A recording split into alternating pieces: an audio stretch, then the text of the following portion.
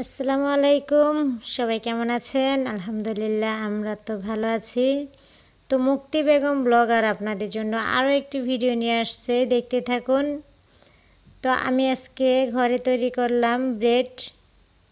তো ব্রেড ব্রন দিয়ে আমরা নাস্তা করছি। তো আমরা সকাল সকালে ব্রেড দিয়ে নাস্তা করছি, যেটা আমি ঘরে তৈরি করেছিলাম। তো সকাল সকালে সবাই মিলে নাস্তা করছি।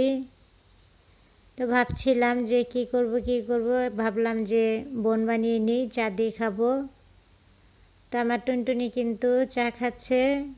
কীভাবে যে ফু দিচ্ছে মানে চাটা এত গরম লাগছে ওর কাছে, কি আর বলব? তো আমার মেয়েরা চা খাচ্ছে।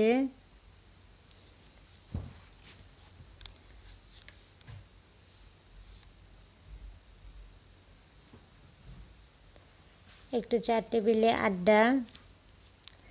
তো সকাল সকালে মেয়েদের সঙ্গে একসঙ্গে চা খেতে আমার খুব ভালো লাগে। তো আমি চার সঙ্গে ব্লগটা শুরু করে দিয়েছি। যদিও আজকে একটি ব্রেড বানাচ্ছি। আর এই হচ্ছে ঘুম পাগল। উনি হচ্ছে ঘুম পাগল। ওনাকে ঘুমাতে দিলে উনি খুব হ্যাপি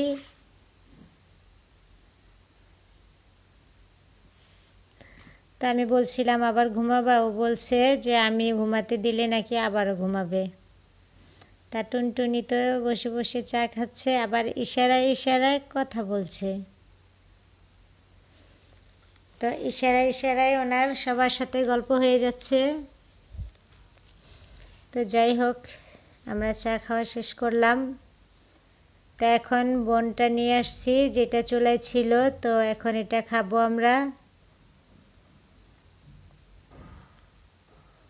তো এই ব্রেড বনটা আমি বানিয়েছি ঘরেই। তো এখন আমার মেয়েটা ছিঁড়ে দেখাচ্ছে কতটা সুন্দর হয়েছে। ওয়াও, যদিও এখন অনেক গরম। তো খুব সুন্দরভাবে কিন্তু বানিয়ে নিয়েছি।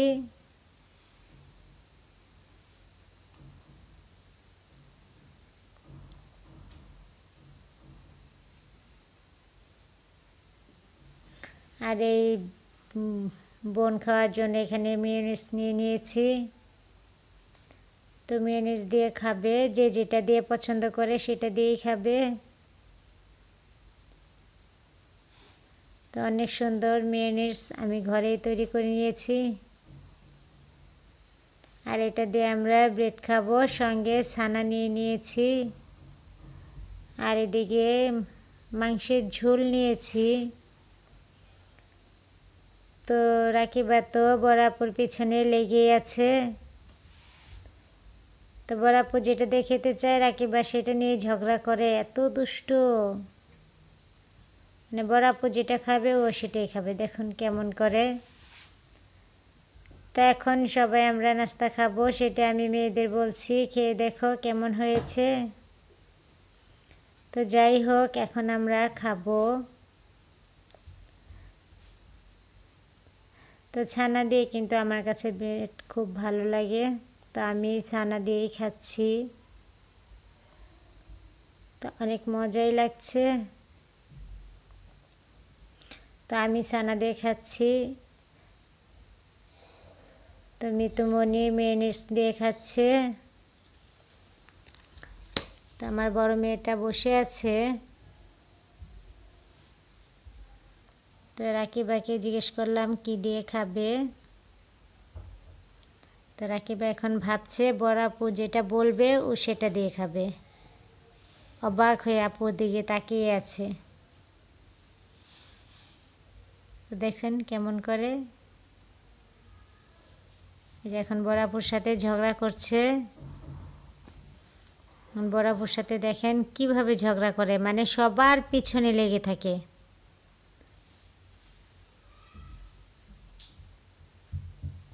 তো কীভাবে ব্ল্যাকমেল করে মেজো আপুকে?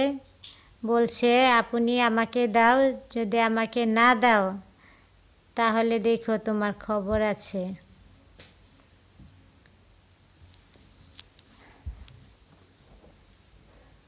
তো আপনিকে অনেক ট্রিট দিচ্ছে রাখিবা মানে আপনি দেয় নেই, তাতে বলছে, যদি তুমি আমাকে দিলে না, তোমার খবর আছে।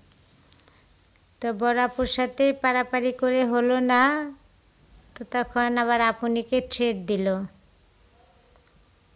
যে আবারও বলছে, আপনি দাও আপনি দাও। কিন্তু আপনি তো দিচ্ছে না সেই জন্য আপনিকে ট্রেড দিচ্ছে। তো এইভাবেই তো মজা করতে করতে আমার সারাটা দিন কেটে যায় বাচ্চাদের সঙ্গে। তো সেই মজাটাই আমি আবার আপনাদের সঙ্গে শেয়ার করছি। আমি জানি আমার ফলোয়ার্সদের কাছে ভালো লাগবে। আমার ফ্রেন্ডদের কাছে অবশ্যই আমার পরিবারটি ভালো লাগবে। আর আমার এই ভিডিওগুলো যদি ভালো লাগে, অবশ্যই আমার পাশে থাকবেন। তো ঋতুমণি বলছিল, রুটিটা এত মজা হয়েছে তো ওর নাকি আরও খেতে ইচ্ছে করছে। খেয়ে নিচ্ছি।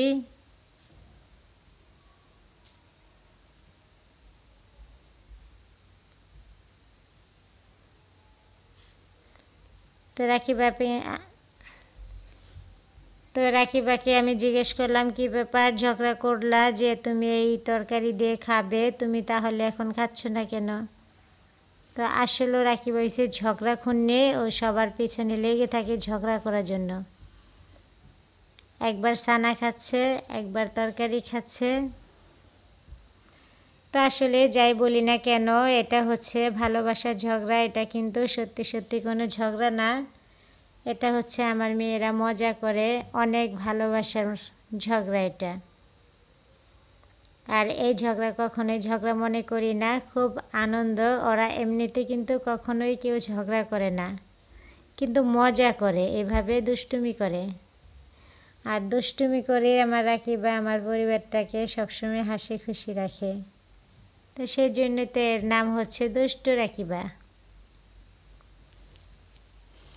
তো রাকিবা বলছে, ও খেয়ে নাকি একটু গদ গদ হয়ে গেছে।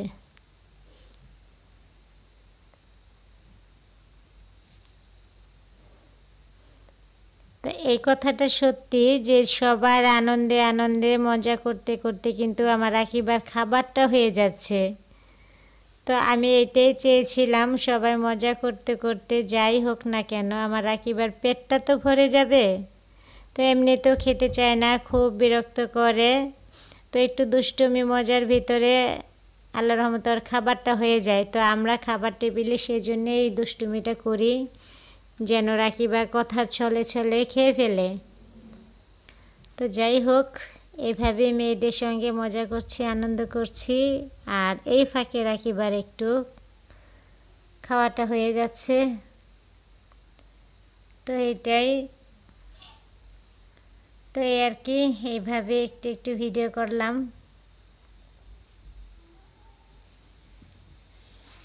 তো আমার মেয়েরা একটু ভালোবাসার ঝগড়া করে। তো এই ঝগড়াটা আমার কাছে বেশ ভালো লাগে, যদিও সত্যি সত্যি কোনো ঝগড়া না। তো যাই হোক, আপনাদের সঙ্গে একটু একটু মজা শেয়ার করলাম। এরকম দুষ্টুমি করবেন, বেশি বেশি খাবেন। আল্লাহ হাফেজ। অবশেষে কিন্তু রাকিবা তরকারিটা খেলো না, শুধু শুধু একটু ঝগড়া করল। তো সবাই ভালো থাকবেন, সুস্থ থাকবেন। আল্লাহ হাফেজ।